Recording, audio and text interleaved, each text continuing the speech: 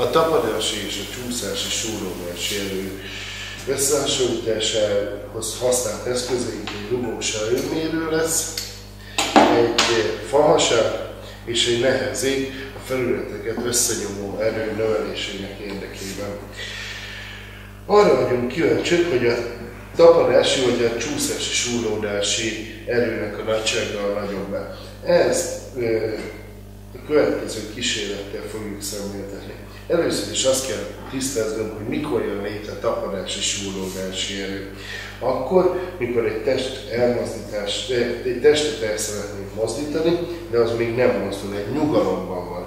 Ez az erő mindig ellentétes a mozgást létrehozó erővel, és mindig azonos nagyságú a csúszási súrlódási erő pedig a mozgást akadályozó erő, melynek nagysága egyenletes mozgás esetén megegyezik a húzóerővel, és ellentétes irányú azzal. A következőben kérünk mindenkit, hogy figyelje az erőmérőnek a skáláját. Addig a pontig, ameddig el nem mozdul a testünk, addig tapadási súrlódásról beszélünk, mihely mozgásban és egyenletes sebességgel mozgatom, csúszási súrlódásról. Nézzük meg, és figyeljük az erőmérő mutatóját.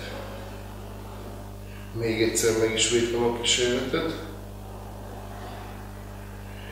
Nagyon szépen látszik, de azért még egyszer, hogy az elmozdulás pillanatai nagyobb erővel kell húznom ezt a testet, majd visszatér egy fél newtonos erőre, ahúzó erő. Tehát elhúzom egy newton, és utána fél newtonos erővel tudom egyenletesen mozgatni.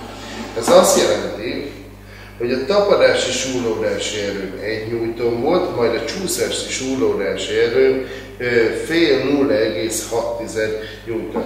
Amivel bebizonyítottam, hogy a tapadási súrlódási erő nagyobb, mint a csúszási súrlódási erő.